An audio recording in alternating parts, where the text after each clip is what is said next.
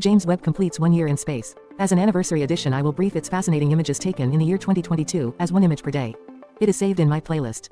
The Phantom Galaxy, also known as Messier 74, is a large spiral galaxy in the equatorial constellation Pisces.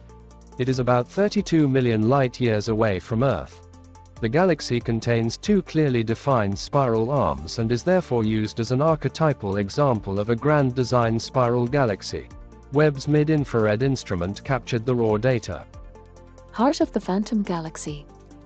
Here comes again the detailed image of Heart of the Phantom Galaxy.